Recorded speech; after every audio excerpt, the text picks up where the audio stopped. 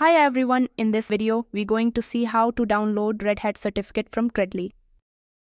Next, click this link to log in Red Hat credentials. Please give your Red Hat login ID and click Next. Next, this kind of pages appears. Here, click the privacy settings.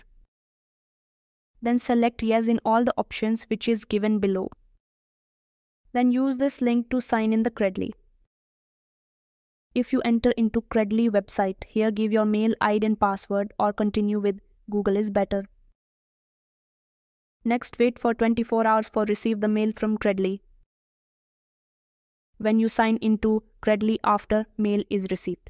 This kind of dashboard is appears. Here click the course which you want to download the certificate. Then you enter into this page, click the three dots near the share button under the option, select the download certificate. When the process is over, your certificate is downloaded successfully. Thank you for watching this video.